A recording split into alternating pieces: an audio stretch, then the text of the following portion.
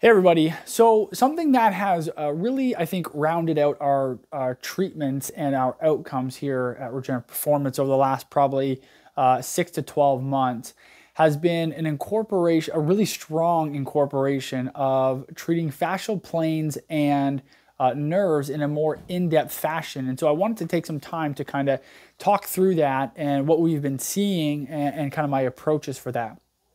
So one of the things that is critically important for our connective tissue is the actual extracellular matrix. It is this the fascia that holds the muscles in place, that forms the ligaments and the tendons, and therefore attaches onto the periosteum on the bone.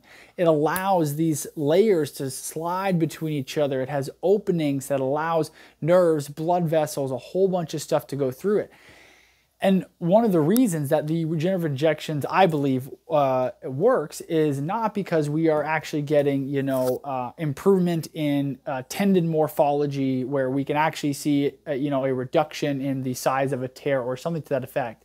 But I actually believe that we're having a huge, huge impact on the fascia uh, and the extracellular matrix, which in turn allows these cells, you know, the tendon cells and the tendon itself to heal.